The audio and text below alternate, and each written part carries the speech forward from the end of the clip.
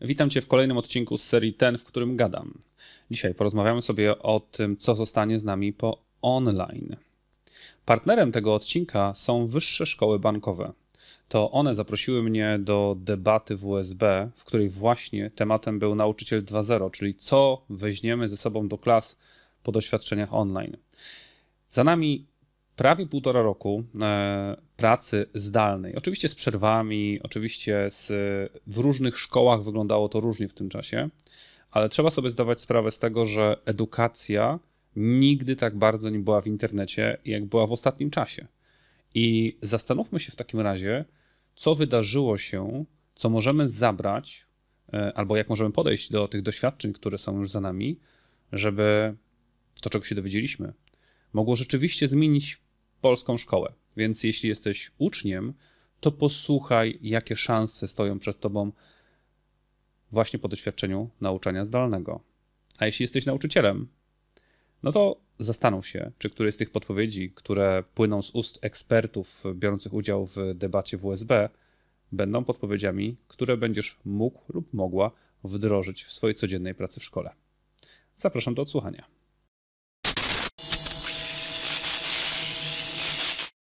W debacie w USB Nauczyciel 2.0, co zabierzemy do klas ze świata online, udział wzięli dr Mirosław Ziętarski, metodyk e-learningu, Wyższa Szkoła Bankowa w Toruniu, dr Joanna Minta, pedagog, dziekan Dolnośląskiej Szkoły Wyższej, Zyta Czechowska, nauczyciel roku 2019, terapeutka i nauczycielka w szkole specjalnej, dr Dominika Wiśniewska, promotorka edukacji z wykorzystaniem technologii, Fundacja PVR, Dawid Łasiński, czyli ja, i prowadzącym był dr Maciej Kawecki, ekspert z zakresu nowych technologii, no i dziekan Wyższej Szkoły Bankowej w Warszawie. Całą debatę w USB możesz odsłuchać, jeśli klikniesz w link do podcastu, który jest umieszczony w opisie tego materiału na dole. Więc e, spójrz w opis tego filmu i kliknij w link, wtedy będziesz mógł sobie spokojnie całą debatę e, przesłuchać. A dzisiaj taki skrót tych wszystkich rzeczy, które tam się działy. Coś, co jakby rozpoczęło całą debatę, to była rozmowa na temat tego, czy rzeczywiście powinniśmy już mówić o nauczycielach 2.0 albo dopiero mówić o nauczycielach 2.0, a może już wprowadzić kolejną numerację tak jak e, gospodarka, e, która ma już kolejne numerki, bo idziemy i rozwijamy się bardzo mocno. Czy nauczyciel to już powinien być nauczyciel 3.0, a może 4.0? No właśnie, e, takie pytanie padło na początku. Moje osobiste odczucie jest takie, że nie powinniśmy doklejać kolejnych numerków do nazwy nauczyciel, bo to może wystraszyć tych, którzy właśnie dopiero czują, że zrobili jakiś krok do przodu. E, więc e, niech będzie ten nauczyciel 2.0, na razie przynajmniej, i po prostu postarajmy się zastanowić, co ten nauczyciel 2.0 robi innego swojej pracy niż nauczyciel 1.0 i co możemy zabrać ze sobą właśnie z tych naszych wszystkich doświadczeń online'owych. Doktor Mirosław Dziętarski na początku zadał pytanie za pomocą takiego fajnego narzędzia, jakie serdecznie Ci polecam. Możesz założyć sobie konto tam za darmo. Narzędzie nazywa się Mentimeter i służy do ankietowania oglądających i ankiety i w ankietach można brać udział za pomocą na przykład smartfona, gdzie wpisuje się e, numer e, pytania, jakby specjalny klucz do pokoju i tam odpowiada się na ankietę. No i doktor Mirosław Dziętarski zadał pytanie na początku, co powstrzymuje Cię przed wykorzystaniem cyfrowych narzędzi w procesie dydaktycznym? Takie pytanie rozpoczęło e, naszą debatę i wszyscy uczestnicy na żywo mieli szansę odpowiedzieć. E, ja chciałbym, żebyś też się nad tym teraz pochylił, czy rzeczywiście są, albo jakie to są powody, dla których e, uważasz, że narzędzia cyfrowe no właśnie nie do końca są dopasowane do ciebie.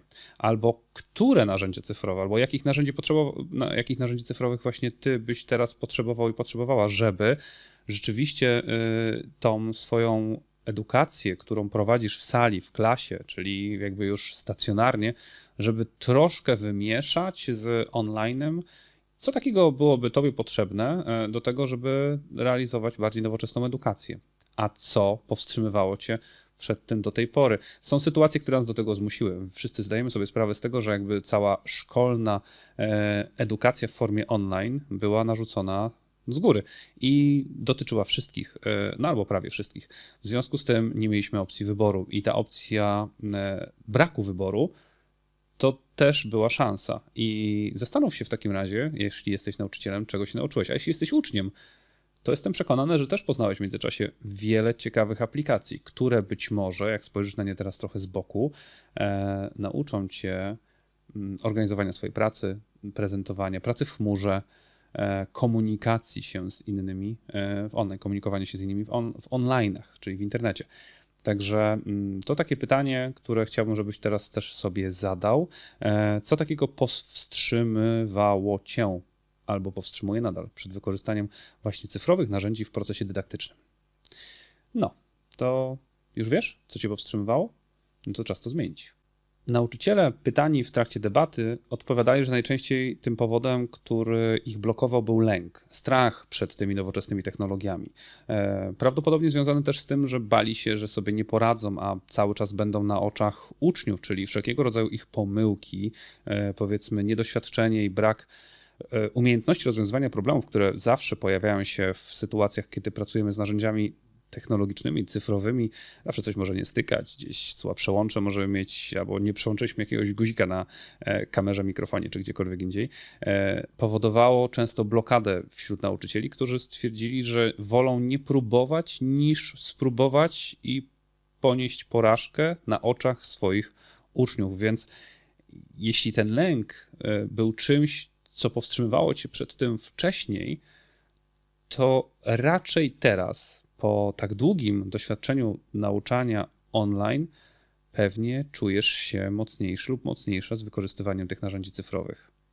I bardzo dobrze. Także warto zapomnieć o lęku, warto patrzeć do przodu z odwagą i działać z tymi nowoczesnymi narzędziami, bo one po prostu usprawniają naszą pracę.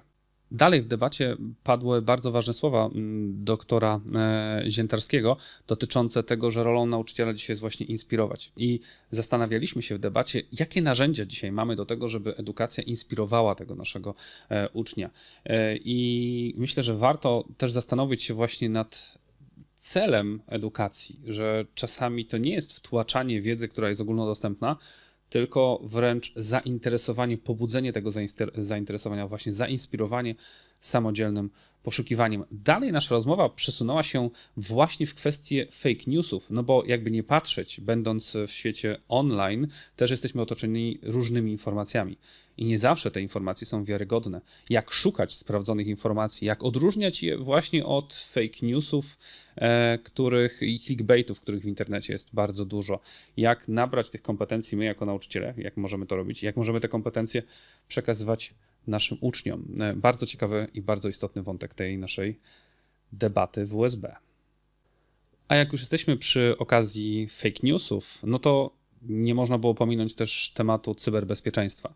E, wiadomo, że jesteśmy użytkownikami internetu. E, zarówno młodzi ludzie, jak i dorośli ludzie trochę inaczej podchodzą do tego internetu. Ja osobiście mam wrażenie, że młodzież ufa tym narzędziom, tak czasami bezgranicznie, a z kolei często dorośli, którzy musieli tych narzędzi się nauczyć, którzy do, które jakby te, te narzędzia do, do, pojawiały się troszkę e, później i oni już nie byli tacy biegli, e, musieli im zaufać. I gdzieś jest Y, pojęcie bezpieczeństwa i często mówimy o wirusach, o jakimś przekazywaniu haseł, ale nadal mam wrażenie, że nie do końca jesteśmy świadomi, jak dużo różnych zagrożeń pod różnymi nazwami e, czyha na nas w internecie, więc warto też e, zastanowić się, jaka jest moja wiedza dzisiaj na temat cyberbezpieczeństwa. Czy ja potrafię o to zadbać, zadbać o siebie, zadbać o moich bliskich, zadbać o moich uczniów, właśnie przekazywać im wiedzę, jak mają bezpiecznie poruszać się w odmętach sieci, no żeby się nie zgubić. Tak więc e, tutaj ciekawy wątek, bardzo ciekawy wątek. E, ja myślę, że warto też poczytać, bo bardzo dużo dostępnych treści jest w internecie dotyczących cyberbezpieczeństwa i nawet jeśli nie jesteśmy profesjonalistami, nie jesteśmy informatykami, e, to możemy tam dowiedzieć się o wielu rzeczach, o których byśmy sobie nie zdawali sprawy, bo na przykład jeszcze nas nigdy nie dotyczyły, i nie ma na co czekać. Lepiej, żeby nas nigdy nie dotyczyły, więc warto zadbać, uświadomić samemu sobie i innym, jakie te zagrożenia związane z nieświadomym właśnie korzystaniem z internetu mogą płynąć. Następnie dr Joanna Minta wraz z Zytą Czechowską e, rozmawiały na temat tego, jak nowoczesna technologia jest wykorzystywana w pracy z uczniami w SPE, czyli specjalne potrzeby edukacyjne.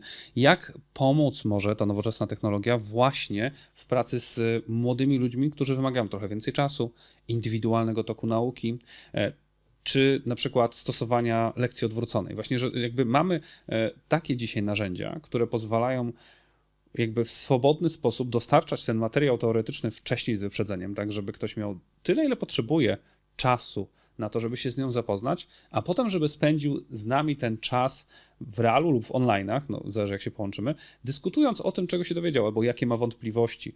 I tutaj y, też pojawiały się pojęcia jak wykorzystywanie właśnie robotyki, programowania. Ostatnio nawet Zyta Czechowska y, pokazywała, jak razem ze swoimi uczniami y, wykorzystywała druk 3D, więc jakby tych możliwości do pracy z uczniami SP też jest bardzo dużo dzięki właśnie nowoczesnej technologii. No i dzięki temu naszemu mm, doświadczeniu pracy online, więc jeśli jakby pracujesz z e, uczniami mm, tego typu, to polecam ci też, żebyś e, poszukał lub poszukała różnych możliwości, również dzięki nowoczesnym narzędziom, narzędziom TIC, do tego, żeby taką pracę usprawnić i żeby ułatwić uczniom e, dotarcie do tych najważniejszych elementów Twojej lekcji, do wiedzy, i dzięki temu zyskasz więcej czasu na e, umiejętność, ćwiczenie umiejętności praktycznych. Dokładnie tak. W debacie w USB pojawił się też bardzo ciekawy wątek, który dla mnie osobiście jest odkryciem. E, pojęcie oduczania się. Jak bardzo ważne jest w dzisiejszych czasach umiejętność uczenia się, ale z nastawieniem takim, że być może za jakiś czas to, czego się nauczyłem, albo to, co potrafię, może być już e, niepotrzebne i muszę się oduczyć jednej rzeczy, żeby znaleźć czas i pojemność mózgu na nauczenie się nowej, czyli ta umiejętność jakby odpuszczania, oduczania się, nie trzymania się tak kurczowo tego, co się dowiedziałem, tego, czego się dowiedziałem, tylko umiejętność modyfikowania e, mojej wiedzy, dodawania do niej nowych rzeczy, a czasami zastępowania i pogodzenie się z tym, że świat, który się rozwija, ale rozwija się w ogromnym tempie, również dzięki internetowi, dzięki temu tej łatwości w komunikacji międzyludzkiej, wymaga na, znaczy wymusza na nas e, jakby pojęcie, jakby pogodzenie się z tym, że my musimy się oduczyć pewnych rzeczy, że coś, co było 10 lat temu, już dzisiaj jest no, jakby eksponatem muzealnym. Tak jak ja za czasów szkolnych marzyłem o Walkmanie i, i kasecie i irytowało mnie to, że muszę wyszukiwać sobie fragmentów piosenek na taśmie i ołówkiem przewracać, bo oszczędzałem baterię, e, przewracać taśmę. Mm, no już teraz tego nie potrzebuję. Jakby oduczyłem się używania kaset i myślenia o tym, że nie mogę sobie zmienić jednym guzikiem na kolejną piosenkę czy kolejny film. E, no, co nie znaczy, że nie zrobiło na mnie wrażenia, kiedy rok temu mój uczeń wyjął na mojej lekcji e, Walkmana Sony, bardzo podobnego takiego, jakiego ja miałem wcześniej. I byłem w szoku, kiedy zapytałem mu, ej, dlaczego to robisz? On powiedział, bo na kasetach jest dużo lepszej jakości dźwięk niż na MP3. I tego na przykład nie byłem świadom. To no, zrobiło na mnie ogromne wrażenie. Więc czasami czegoś trzeba się oduczyć, a czasami ktoś inny odkrywa jakość w tym, co już było. No, także ciekawe, co ciebie kiedyś zaskoczyło w związku właśnie z powrotem niektórych młodych osób do, można było powiedzieć, starodawnej technologii. W trakcie naszego spotkania, organizowanego przez wyższe szkoły bankowe, e, pojawiły się polecenia bardzo fantastycznych miejsc w internecie, które wspierają uczenie się w sieci. E, ja sobie przygotowałem specjalnie listę tutaj, więc pozwolę sobie ją odczytać. Jest to m.in. Akademia Kana, czyli Kan Academy, e, lekcje w sieci.pl, nauczyciel w sieci.pl, specjalni.pl, blogi klikankowo, superbelfrzy.edu.pl, strona Centralnego Domu Technologii, czy też właśnie grupy różnych przedmiotowych, znaczy grupy przedmiotowe nauczycieli na Facebooku, takie jak e, nauczyciele chemii, na przykład, do której ja należę. Więc e, serdecznie polecam Ci te miejsca e, w sieci do tego, żebyś zobaczył lub zobaczyła, jak niektórzy nauczyciele, edukatorzy wykorzystują i dzielą się z innymi właśnie swoimi umiejętnościami technicznymi. Albo też po prostu tam znajdujesz, tak jak w Akademii Kana, gotowe materiały do przekazania, zastosowania w procesie dydaktycznym właśnie wraz ze swoimi uczniami, na przykład projektując lekcję odwróconą. Więc e, no, serdecznie e, polecam taki sposób pracy, kiedy już jakby wykorzystujemy coś, co zostało przygotowane, sprawdzone, rekomendowane przez wielu, wielu edukatorów e, w Polsce, więc na pewno to musi być dobrej jakości i myślę, że też usprawni Twoje lekcje i zaangażuje bardziej Twoich uczniów.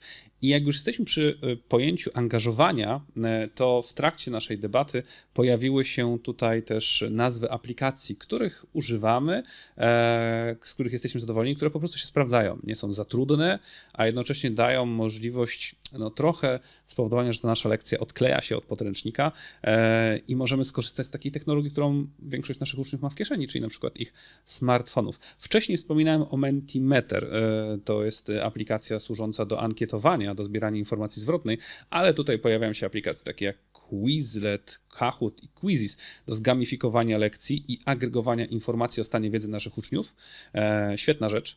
Potem e, Prezi, PowerPoint, Bitable, e, Canva, Geniali, Wakelet i to są e, takie narzędzia i bezpłatne aplikacje albo częściowo bezpłatne, które na przykład uatrakcyjniają prezentowanie materiałów, czy właśnie zbieranie ich wszystkich w jednym miejscu, przekazywanie w formie jednego zestawu. Także Quizlet, Kahoot, Quizzes, Prezi, PowerPoint, Bitable, Canva, Geniali i Wakelet. Takie oto narzędzia pojawiły się w trakcie e, debaty w USB, e, bo z nich po prostu korzystamy, więc e, warto na nie zwrócić uwagę.